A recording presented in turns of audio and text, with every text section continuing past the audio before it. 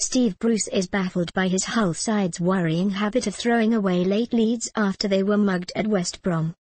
Saido Berahino capped a remarkable Capital One Cup fight back with an 88th minute winner after Gareth McAuley levelled 60 seconds earlier for the hosts. The home side had earlier gone in front when record signing Brown Ideye opened the scoring only to go off injured. The Tigers capitalized as Robbie Brady teed up Tom Ince before the break and scored himself to put the visitors ahead after the interval.